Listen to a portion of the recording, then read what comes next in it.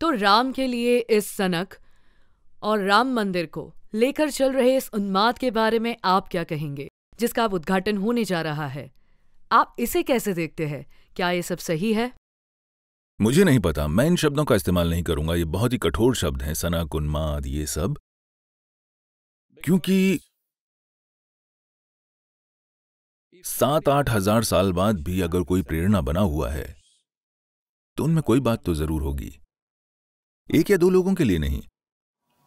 For millions and millions of people, if someone has to be an inspiration after thousands of years, लाखों करोड़ों लोगों के लिए अगर कोई हज़ारों साल बाद भी प्रेरणा बना हुआ है तो कुछ तो ज़रूर होगा। अगर हम उसे नहीं देख पाते तो क्या तब आप- आप कहेंगे कि ये सनक है ये है वो है। मैं इस पर आऊँगा और वैसे भी अगर राम मंदिर की बात करें तो राम के जीवन में समस्याओं की भरमार थी। और आज हज़ारों साल बाद भी वो ज़मीन विवाद में फंसे हुए हैं। उनका जमीनी विवाद हज़ारों साल बाद भी सेटल नहीं हुआ है। तो जो लोग उनसे प्रेम करते हैं इसे सेटल करना चाहते हैं और मुझे लगता है ये सेटल हो चुका है। सुप्रीम कोर्ट ने सेटल कर दिया है। तो अब वो वहाँ मंदिर बनाना चाहते हैं। ये भक्ति है। इसे उन्माद या सनक क्यों कहा जाना चाहिए? क्या ये मैं एक और शब्द का इस्तेमाल करूँगी जो कि फिर आप कहेंगे कि कठोर है। ये विभाजनकारी नहीं है? विभाजनकारी क्यों है?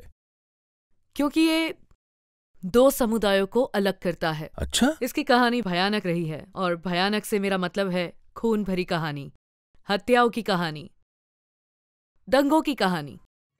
पिछले 800 सालों में जो हुआ है वो इस धरती के किसी भी हिस्से में हुई अब तक की सबसे भयानक खून भरी कहानी है। यहूदियों के साथ जो एडोल्फ हिटलर ने किया जो मूल अमेरिकियों के साथ उत्तरी अमेरिका में हुआ जो कंबोडिया में हुआ ये सब चीज़ें उसके सामने कुछ भी नहीं है जो इन 800 सालों में भारत में हुआ। और अगर आपको नहीं लगता कि यह खूनी कहानी है और उन लोगों में कोई पछतावा नहीं है जिन्होंने ये सब किया और बस लोग अपनी आस्था के लिए ज़मीन का एक छोटा सा टुकड़ा वापस चाह रहे हैं तो ये विभाजनकारी है। क्यों ये विभाजनकारी है? मैं गौर कर रही हूँ कि आप ज़मीन शब्द का इस्तेमाल कर रहे हैं मंदिर का नहीं। क्या ये जानबूझकर है? यह है ये ज़मीन ही है। लेकिन मंदिर भक्तों के दिलों से बनता है।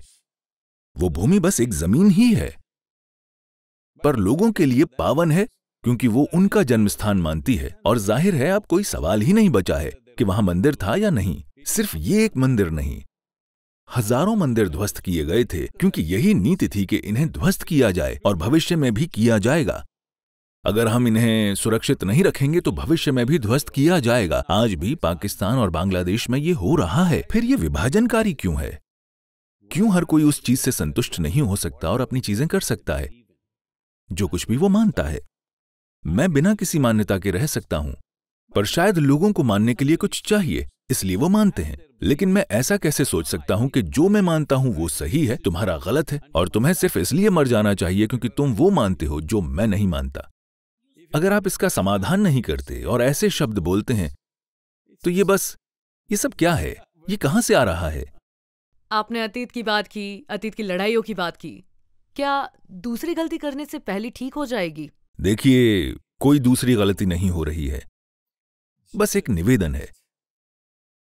ये तीन महान चरित्र शिव राम कृष्ण इनके हज़ारों मंदिरों को तोड़ा गया है। उन सब के लिए कोई नहीं कह रहा, क्योंकि इतिहास को ठीक करना असंभव है और कोई सोच भी नहीं रहा है कि हम इसे फिर से ठीक करेंगे। नहीं किसी का इंटरेस्ट है। बस इन तीनों के लिए। जहाँ इनकी मूल उपस्थित थी, वो बस अब उन तीन मुख्य स्थानों की मांग कर रहे हैं। इन्हें क्यों बिना किसी लड़ाई के नहीं दिया जा सकता? और लड़ाई है कहाँ? कोई नहीं लड़ रहा, वो बस कोर्ट जा रहे हैं। कोर्ट कोई लड़ाई नहीं है, वो एक कानूनी प्रक्रिया है। आप कानूनी प्रक्रिया को लड़ाई क्यों कह रहे हैं? आपने जीवन में कभी प्रार्थना नहीं की या मंदिर नहीं गए? या गए तो कब से जाना बंद कर दिया? और क्या आपने शास्त्र पढ़े हैं? मैंने बिल्कुल शास्त्र नहीं पढ़े हैं। मैं मंदिर जाने वाला व्यक्ति भी नहीं हूँ। मैंने मंदिर बनाए हैं। हाँ बिल्कुल बहुत ही सुंदर। लेकिन मैं वहाँ जाता नहीं हूँ। अगर मैं मंदिर जाता हूँ अगर वहाँ देखिए हमारे मंदिर कोई प्रार्थना स्थल नहीं है। इसी चीज़ से लोग पूरी तरह से चूक गए हैं। उत्तरी भारत में शायद ये बिल्कुल खत्म हो चुका है। दक्षिण में अब भी निर्देश दिए जाते हैं। यहाँ निर्देश ये है कि अगर तमिलनाडु और कर्नाटक में आप मंदिर जाते हैं तो कोई आपसे ये नहीं कहता है कि भगवान से प्रार्थना करो या कुछ मांगो और ये, वो। अगर आप वहाँ जाते हैं तो आप बस शांति से एक जगह बैठ जाएँ, क्योंकि ये अलग अलग तरह की ऊर्जाएँ हैं अलग अलग तरह की प्राण प्रतिष्ठाएँ हैं। आपके जीवन में कुछ विशेष आयामों को खोलने के लिए हर देवता की एक खास तरह से प्राण प्रतिष्ठा हुई है। तो आपको बस वहाँ बैठकर उसे आत्मसात करना है। उत्तरी भारत में भी वो आपसे केवल दर्शन करने के लिए कहते हैं, कुछ मांगने के लिए नहीं। दर्शन यानी क्योंकि वो एक ऊर्जा रूप है तो आप उसके प्रभाव को अपने दिल और मन में ले लें, ये आपको रूपांतरित करेगा।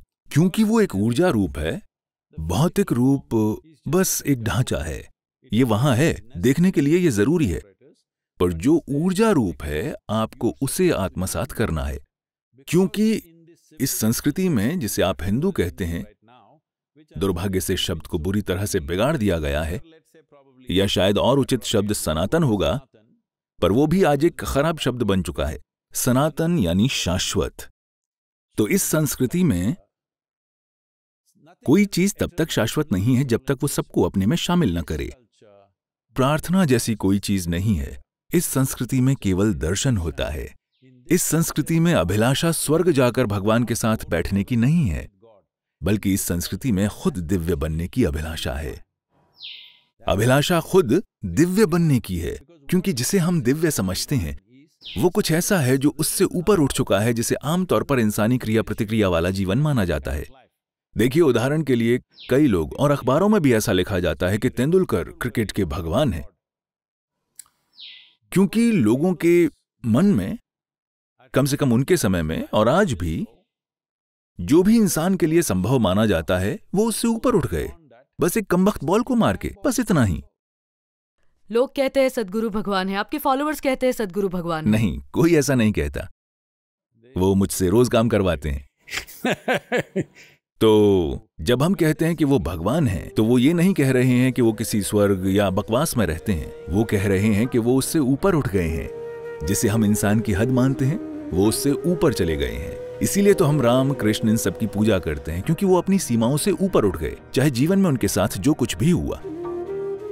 रणभूमि में भी वो शांत हैं।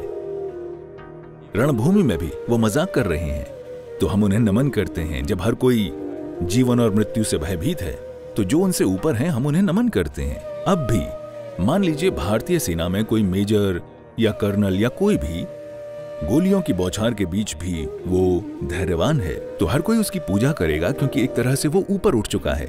तो इस संस्कृति में हम भगवान के पास जाना नहीं चाहते। हम खुद वो बनना चाहते हैं और हम किसी एक को भगवान नहीं मानते। हम हर चीज़ को भगवान की तरह देखते हैं। हम एक पेड़ को नमन करते हैं गाय को नमन करते हैं, सांप को नमन करते हैं, चट्टान को नमन करते हैं, आदमी, औरत, बच्चे, कुछ भी। क्योंकि जीवन का कोई भी अंश उनके भीतर सृष्टि के स्रोत के धड़के बिना घटित नहीं हो रहा है। अगर आप उसे पहचान लेते हैं तो आप झुकेंगे। अगर नहीं पहचानते तो नहीं झुकेंगे।